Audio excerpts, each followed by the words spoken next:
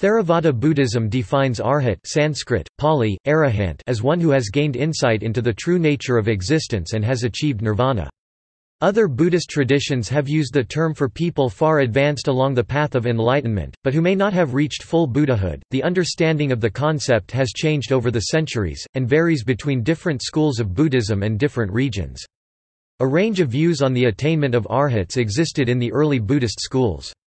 The Sarvastivada, Kasyapiya, Mahasamgika, Ekavyavaharika, Lokottaravada, Bahusrutiya, Prajnaptivada, and Caitika schools all regarded arhats as imperfect in their attainments compared to Buddhas. Mahayana Buddhist teachings urge followers to take up the path of a bodhisattva, and to not fall back to the level of arhats and sravakas. The arhats, or at least the senior arhats, came to be widely regarded as moving beyond the state of personal freedom to join the bodhisattva enterprise in their own way. Mahayana Buddhism regarded a group of 18 arhats with names and personalities as awaiting the return of the Buddha as Maitreya, and other groupings of 6, 8, 16, 100, and 500 also appear in tradition and Buddhist art, especially in East Asia. They can be seen as the Buddhist equivalents of the Christian saints, apostles or early disciples and leaders of the faith. Etymology and translations Etymology Pali arahant is a present participle coming from the verbal root square root arh, to deserve, cf. arha, meriting, deserving, arhana, having a claim, being entitled, arhita past participle, honored, worshipped. The word is used in the Rigveda with this sense of deserving. A common folk etymology derives the word from ari enemy and hanta from the root square root han cf. hunter, to strike, to kill. Hence the translation, foe destroyer. Professor Richard Gombrich has argued that the present participle is jarring and seems out of place when there is an adjective from the same root arha. Since Jains used two Prakrit forms of the word arahanta and arahanta, the folk etymology may well be the correct etymology. Gombrich argues that this stems from the same metaphor as the Jain title Jina conqueror", whence Jaina related to the conqueror, i.e. Jainism. Translations The term arhat is often rendered in English as arahat. The term arhat was transliterated into some East Asian languages phonetically, for example, the Chinese aluohan ch, aluohan often shortened to simply luohan ch. Luohan. This may appear in English as luohan or lohan. In Japanese the pronunciation of the same Chinese characters is rakan ya. Luohan or Arakan ya. Aluohan. The Tibetan term for arhat was translated by meaning from Sanskrit.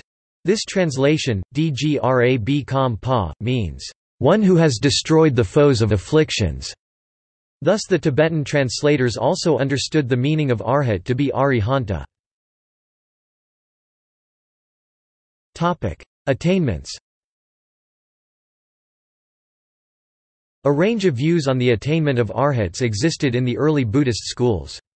The Sarvastivada, Kasyapiya, Mahasamgika, Ekavyavaharika, Lokottaravada, Bahusrutiya, Prajnaptivada and Caitika schools all regarded arhats as being imperfect in their attainments compared to Buddhas. The Dharmaguptaka sect believed that the Buddha and those of the two vehicles, although they have one and the same liberation, have followed different noble paths. The Mahisasaka and the Theravada regarded arhats and Buddhas as being similar to one another. The 5th-century Theravadan commentator Buddhaghosa regarded arhats as having completed the path to enlightenment. According to Bhikkhu Bodhi, the Pali Canon portrays the Buddha declaring himself to be an arahant. According to Bhikkhu Bodhi, nirvana is the ultimate goal, and one who has attained nirvana has attained arahantship. Bhikkhu Bodhi writes, The defining mark of an arahant is the attainment of nirvana in this present life. The Mahayana discerned a hierarchy of attainments, with Samyaksambuddhas at the top, Mahasattvas below that, Pratyekabuddhas below that and Arhats further below.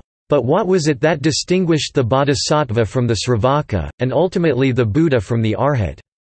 The difference lay, more than anywhere else, in the altruistic orientation of the Bodhisattva.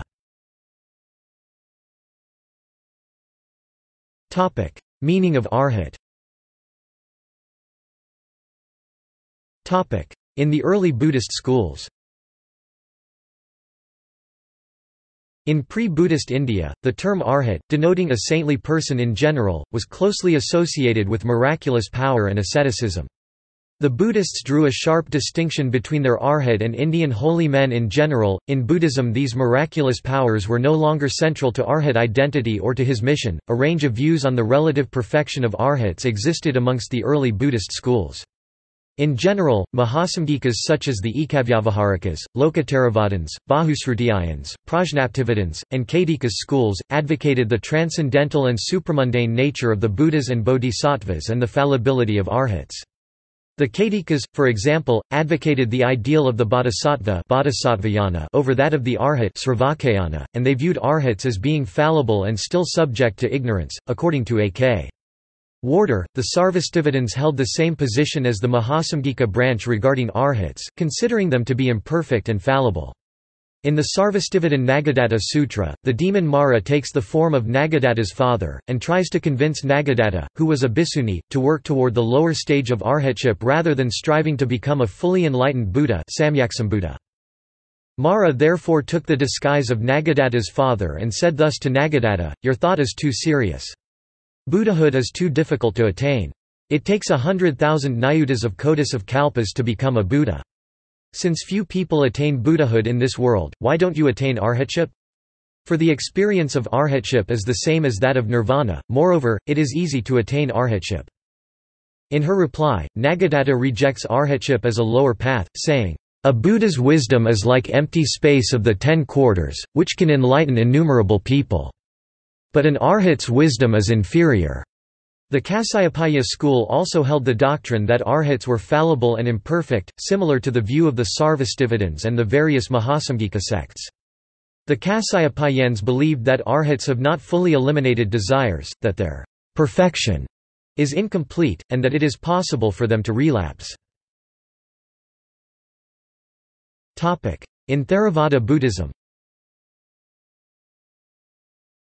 In Theravada Buddhism, an arahant is a person who has eliminated all the unwholesome roots which underlie the fetters, who upon their death will not be reborn in any world, since the bonds fetters that bind a person to the samsara have been finally dissolved. In the Pali Canon, the word Tathagata is sometimes used as a synonym for arahant, though the former usually refers to the Buddha alone. After attainment of nibbana, the five aggregates physical forms, feelings, sensations, perception, mental formations and consciousness will continue to function, sustained by physical bodily vitality. This attainment is termed the nibbana element with a residue remaining. But once the arahant pass away and with the disintegration of the physical body, the five aggregates will cease to function, hence ending all traces of existence in the phenomenal world and thus total release from the misery of samsara.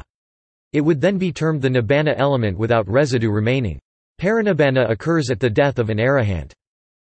In Theravada Buddhism the Buddha himself is first identified as an arahant, as are his enlightened followers, because they are free from all defilements, without greed, hatred, delusion, ignorance and craving. Lacking assets, which will lead to future birth, the arahant knows and sees the real here and now. This virtue shows stainless purity, true worth, and the accomplishment of the end, nibbana. In his study of the roles of arahants, buddhas, and bodhisattvas, Nathan Katz writes that, there is a tendency in the Theravada school to exclude laypeople from the possibility of achieving arahantship. While in the Sutta Pitaka, arhata was open to all, both in principle and in fact, there was a growing tendency among later Theravada Sangikas to restrict arhata to those wearing the robe. Earlier we indicated a Milindapanha verse which held that while arhata might be attainable by a layperson, within one day of its attainment he would have to either enter the Sangha or die. In the Pali Canon, Ananda states that he knows monastics to achieve nibbana in one of four ways. One develops insight preceded by serenity Pali, samatha pubbangamam vipassanam. One develops serenity preceded by insight vipassana pubbangamam samatham. One develops serenity and insight in a stepwise fashion samatha vipassanam yuganadam.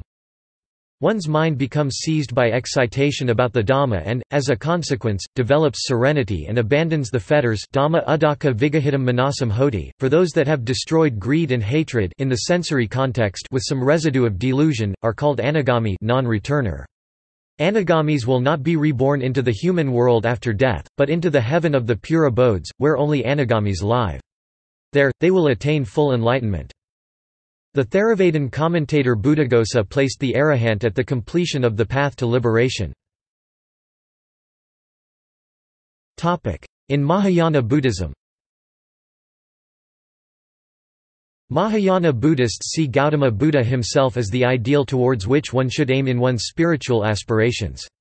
A hierarchy of general attainments is envisioned with the attainments of arhats and pratyekabuddhas being clearly separate and below that of samyaksambuddha or tathagatas such as Gautama Buddha. In contrast to the goal of becoming a fully enlightened Buddha, the path of a Sravaka in being motivated by seeking personal liberation from samsara is often portrayed as selfish and undesirable.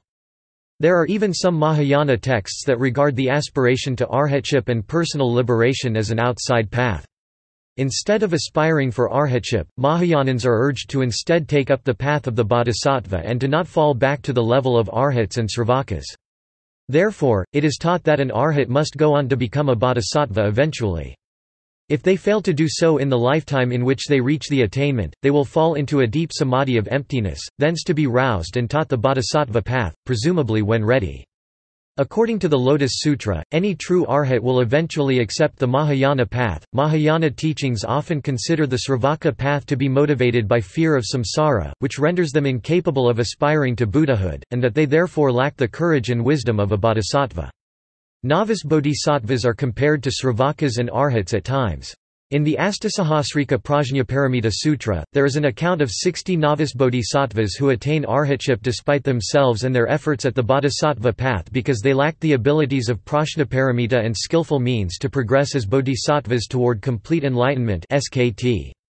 Anuttara Samyaksambodhi. This is because they are still viewed as having innate attachment and fear of samsara.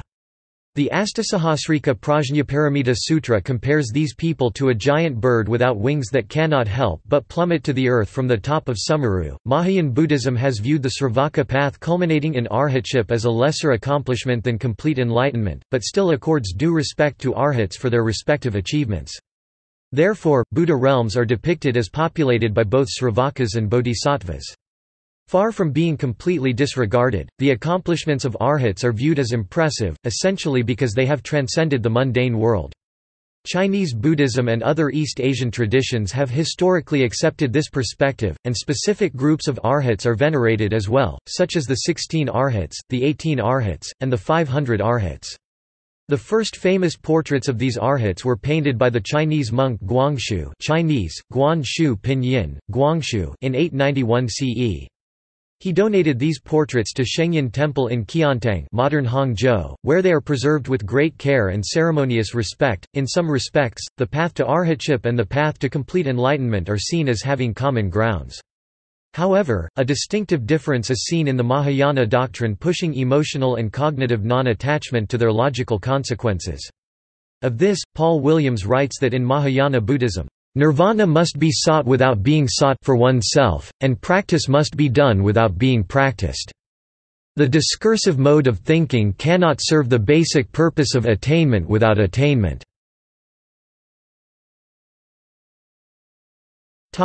See also. Arahant Jainism. Four stages of enlightenment. Bodhisattva. Buddhist paths to liberation Yixian glazed pottery luohans. Notes. References. Sources. Further reading. Addis, Stephen. The Art of Zen, Paintings and Calligraphy by Japanese Monks, 1600–1925. New York, H. N. Abrams, 1989. Bodhi, Bhikkhu ed. 2005. In the Buddha's Words, An Anthology of Discourses from the Pali Canon. Boston, Wisdom Pubs. ISBN 0-86171-491-1. Bush, Susan, and Hsio Yen Shi. Early Chinese Texts on Painting. Cambridge, Massachusetts, published for the Harvard Yenching Institute by Harvard University Press, 1985. Ju, Bong Sok. The Arhat cult in China from the 7th through 13th centuries, Narrative, Art, Space and Ritual. Ph.D. Dis. Princeton University, 2007. Kai Man, 1986. The Illustrated 500 Lo Han. Hong Kong, Precious Art Publications.